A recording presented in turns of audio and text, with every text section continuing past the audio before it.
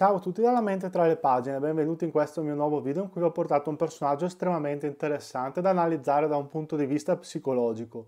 Un personaggio per certi versi molto complesso ma che dobbiamo assolutamente analizzare per mettere in luce tutte quelle sue sfumature psicologiche, tutte quelle sue sfumature che ci aiutano in qualche modo ad avere del personaggio una comprensione psicologica migliore.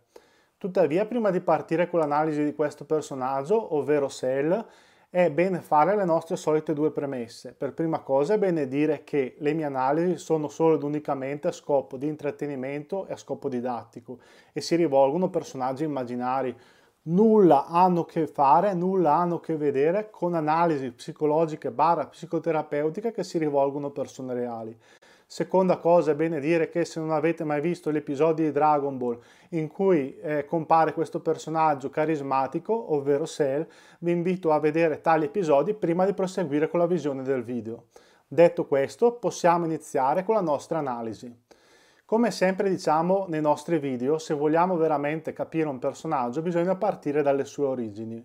Nel caso del Cell le sue origini sono origini in laboratorio, origini artificiali, in quanto Cell è un biondroide origini artificiali poiché è stato anche costruito da, dal dottor Gero, uno scienziato molto vendicativo, uno scienziato molto cattivo che ha progettato la sua creatura con l'intento di eliminare il Saiyan Goku e con l'intento anche in qualche modo di diventare potentissima, di far diventare questa creatura potentissima.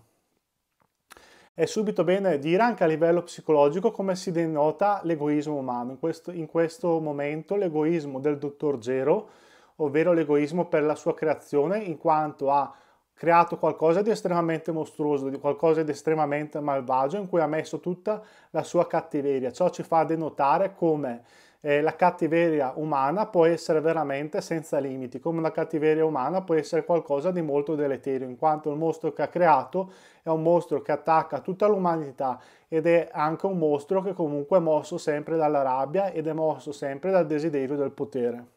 Detto questo, è bene fare anche altre considerazioni. Possiamo subito dire che Cell potrebbe avere il complesso di Frankenstein, cioè, mi spiego meglio, cos'è che intendo.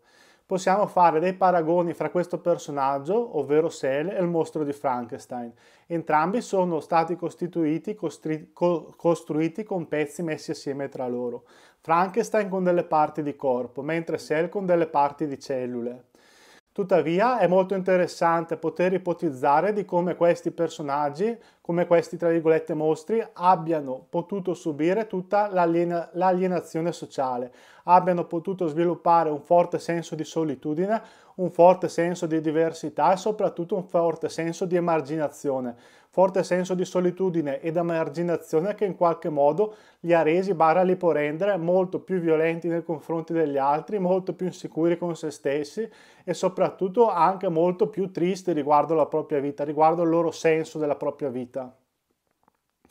Quindi da un livello empatico possiamo subito analizzare Sel come un personaggio, tra virgolette, che è un, un, personaggio allenato socialmente, un personaggio che suscita negli altri paura, ma anche perché no, molte persone può suscitare anche disgusto, può anche suscitare rabbia, ma può anche suscitare eh, eh, rancori, può anche suscitare comunque violenza, può anche suscitare emozioni negative. Ciò segnerà in qualche modo se in qualche modo poiché ricordiamolo che questo personaggio arriva, nonostante sia un biondroide, molto interessante questo, arriva ad avere una propria autoconsapevolezza, tanto che quando parlerà con, con Trunks del futuro, parlerà lui in maniera arrogante, ma si percepisce anche una certa disperazione nel senso, lui gli dice sono stato costruito per distruggere Goku, ma non è più il mio scopo questo.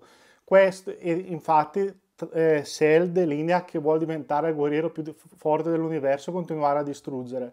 Tuttavia, questa sua eh, spiegazione di Cell ci fa anche capire che in qualche modo stia cercando uno scopo nella sua vita.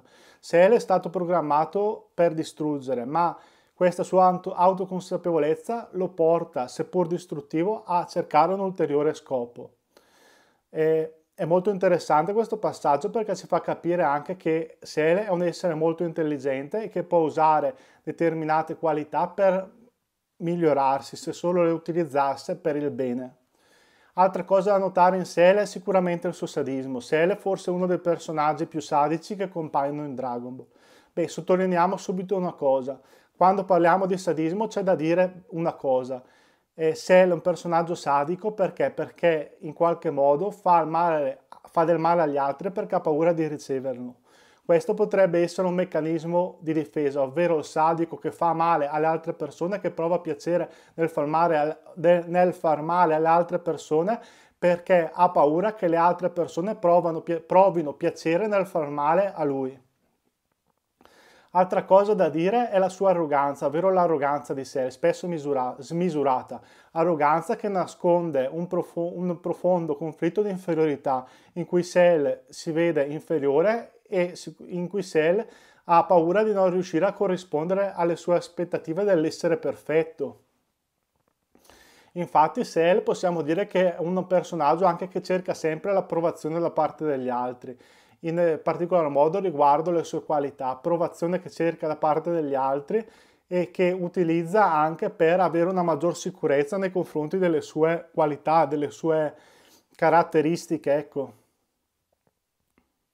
Quindi insicurezza che nasconde sicuramente dietro l'arroganza, sadismo, come abbiamo detto, complesso di eh, superiorità che nasconde l'inferiorità, poiché il complesso di superiorità è un modo per me, di, il complesso di superiorità è un modo per nascondere la propria inferiorità. Dopo possiamo dire che cosa? Possiamo dire che questo personaggio, come è capitato ad altri personaggi della serie, avrebbe potuto redim- redimersi in qualche modo e passare dal lato oscuro al lato chiaro, questo grazie alla sua autoconsapevolezza. Autoconsapevolezza che il personaggio ha, mat- ha maturato. Ma come il personaggio avrebbe potuto fare questo passaggio al, al lato del bene, diciamo? il personaggio avrebbe potuto fare questo passaggio al lato del bene, ad esempio sviluppando maggiori rapporti empatici con gli altri. Sviluppando maggiori rapporti empatici con gli altri avrebbe in qualche modo potuto eh, sviluppare più sicurezza in se stesso e più sicurezza nell'appoggio degli altri tentando poi di avere un nuovo scopo nella propria vita, cercando un nuovo scopo positivo e costruttivo nella propria vita, se ella avrebbe potuto far sì che la sua vita si trasformasse da inferno a qualcosa di positivo, ad uno scopo positivo che avrebbe potuto portare il personaggio a una maggior crescita ed evoluzione personale. Altra cosa è l'empatia, lo stare a contatto con le persone umane, come abbiamo detto, ma è bene sottolineare, avrebbe facilitato il poter mostrare a sé le proprie emozioni agli altri e perché no, anche le proprie vulnerabilità. Cambiamento decisivo nel nostro, nel nostro sé si verifica quando? Si verifica quando viene sconfitto dal nostro Gohan, perché nella sconfitta con Gohan Cell viene messo di fronte a tutte le sue debolezze Sel non può più eh, negare le sue debolezze, ma ci si trova a confrontarci con loro. Quindi questo passaggio può essere, questa sconfitta di Gohan può essere per Sel un motivo di maturazione personale, può essere per Sel un motivo per capire i propri limiti e soprattutto può anche essere un motivo per vedere dove sono le proprie debolezze i propri lati da migliorare. Quindi per riassumere, Sel è un individuo che soffre l'isolamento, possiamo dire, che soffre l'isolamento sociale, l'alienazione sociale, complesso di Frankenstein possiamo sottolineare, ovvero quello del mostro nato in laboratorio, quello del mostro nato per la cattiveria del suo creatore, che in qualche modo cerca comunque di vendicarsi sulla società perché ha paura che gli venga fatto del male. Seconda cosa possiamo sottolineare il sadismo come abbiamo fatto, ovvero il piacere di fare del male agli altri da parte di sé per paura di ricevere del male da parte degli altri. Poi possiamo sottolineare il suo complesso di superiorità, complesso di superiorità che nasconde un'estrema insicurezza in sé e il suo bisogno continuo di approvazione dagli altri, bisogno di continuo di approvazione dagli altri che delinea una scarsa sicurezza nelle capacità del personaggio stesso, personaggio che per l'appunto cerca di continuo l'approvazione. Bene, siamo giunti alla fine di questa analisi su questo personaggio straordinario, ovvero sul personaggio di Sel. Vi ringrazio per essere stati con me durante tutto il video.